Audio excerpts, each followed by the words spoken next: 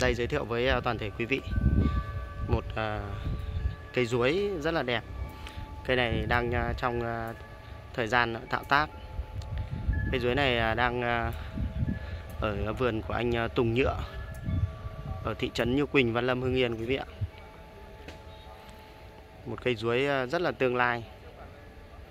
Cây này nếu mà so với cả tầm cỡ như cây lão mai đại thọ của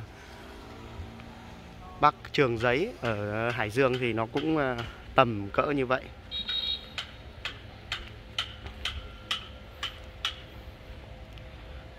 Vâng, một cây à, ruối được à, gọt rũa sạch sẽ rồi quý vị ạ.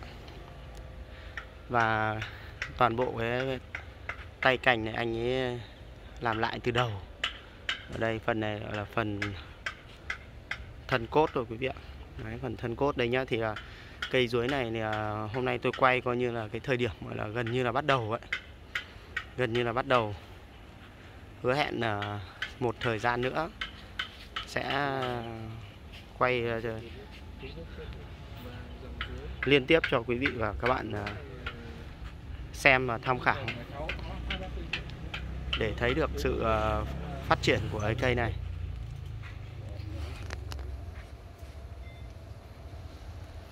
Đấy.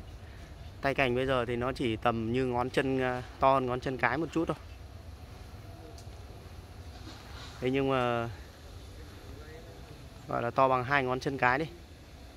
Người chân cái người nào mà to thì chắc là hơn, nhưng mà gọi là cứ người trung bình thì tầm ờ, hai cái ngón chân cái.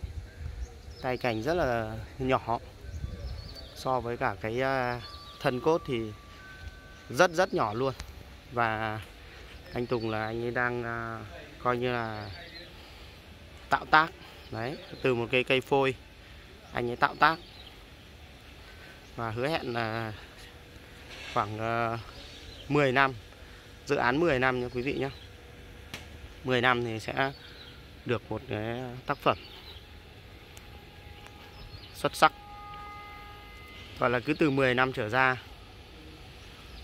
Chứ à, dưới 10 năm thì chắc chắn là nghe hơi điêu điêu hơi hoang tưởng. 10 năm chứ không biết là những cái tay cảnh này đã liệu có bằng được cái uh, ống nước uh, gọi là ống ống uh, ống 42 hay không. Và tầm được như ống uh, ống ống 60 thì ngon quá.